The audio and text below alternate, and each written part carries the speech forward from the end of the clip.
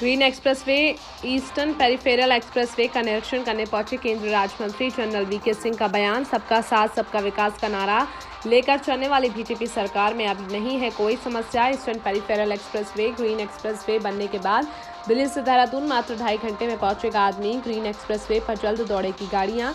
Indian air force station से जल्द उड़ेगी। कई और उड़ानें कृषि कानून वापस लेने वाले बयान पर उन्होंने कहा कि कृषि कानून छोटे किसानों के फ़ायदे में था।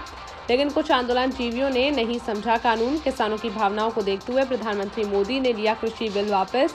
आज बागपत सांसद डॉक्टर सत्यपाल सिंह के साथ बागपत पहुँचे थे केंद्रीय राज्य मंत्री general V K Singh. PWD guest house Baghpat में की प्रेस कॉन्फ्रेंस।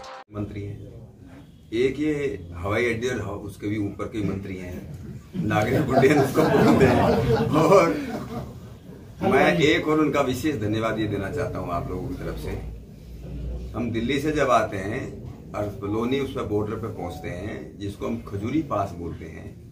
उस खजूरी पास की रोड जो है जो पहले दिल्ली जाते हो कितनी खराब थी। अब चौड़ी भी हो गई चौड़ी भी हो गई अच्छी भी बन गई। वो जो है मैंने जो है जनरल साहब से निवेदन किया था। जनरल साहब की जनरल साहब तो कमी चलते हैं उससे मैं ज़्यादा चलता हूँ। वैसे वैसे तो इनके एरिया में आता है वो। लेकिन उन्होंने मेरे निवेदन पे उसको बहुत जल्दी उस रोड को इतना अच्छा बना दिया इसलिए भी उनका मैं विशेष धन्यवाद करता हूँ।